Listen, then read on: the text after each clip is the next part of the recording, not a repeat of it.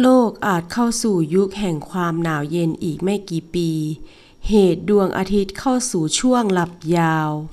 นายวิมุตติวสลาย กรรมการวิชาการสมาคมดาราศาสตร์ไทยเผยข้อมูลถึงความกังวลในอนาคตว่า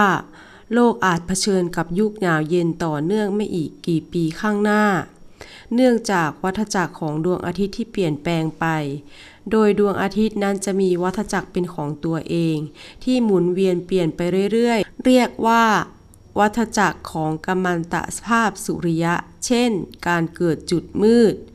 การลุกจ้า CME ซึ่งเป็นสาเหตุหลักของพายุสุริยะ ซึ่งหากช่วงไหนดวงอาทิตย์มีปฏิกิริยามาก ก็จะมีกัมมันตภาพขึ้นสูงสุด ดวงอาทิตย์จะแผ่พลังงานออกมาสูงกว่าช่วงอื่น โดยเฉพาะในย่านอันตราไวโอเลตหรือรังสี UV ซึ่งตามปกติแล้ว วัฏจักรของระบบสุริยะจะมีผลต่อสภาพภูมิอากาศของโลก หากวัฏจักรนี้มีความผิดปกติในระยะยาวนาน ก็จะส่งผลต่อสภาพภูมิอากาศของโลกอย่างมาก ขณะที่เรายังอยู่ในวัฏจักรที่ 24 ซึ่งได้ผ่านช่วงสูงสุดมาแล้วในปี 2556 เป็นวัฏจักรที่ดวงอาทิตย์ไม่ค่อยจะคึกคักนัก และจากการศึกษาของนักดาราศาสตร์จากหลายสำนักพบว่า ในวัฏจักรที่ 25 ซึ่งจะเริ่มในราวปี 2563 มีแนวโน้มว่าจะยิ่งหงอยเหงาลงไปอีก อาจจะเป็นวัฏจักรที่คึกคักน้อยที่สุดในรอบ 100 ปีก็ได้ ซึ่งหากดวงอาทิตย์ฟุบยาวต่อเนื่องหลายวัฏจักรติดกัน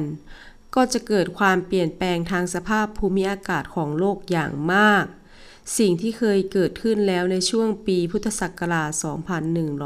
2188 ถึง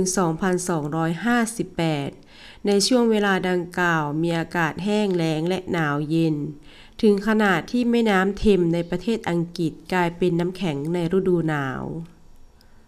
อย่างไรก็ตามยังไม่อาจยืนยันได้ว่า ดวงอาทิตย์จะเข้าสู่ช่วงหลับยาวแบบนั้นอีกหรือไม่